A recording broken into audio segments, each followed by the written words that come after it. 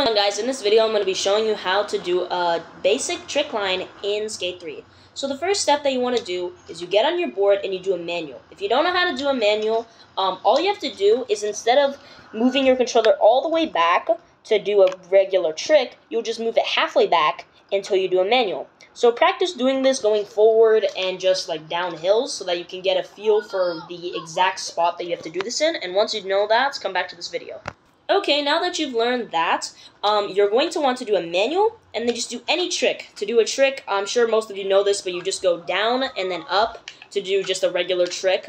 So you'll just do manual by going halfway down and then down up to do a trick. So do that.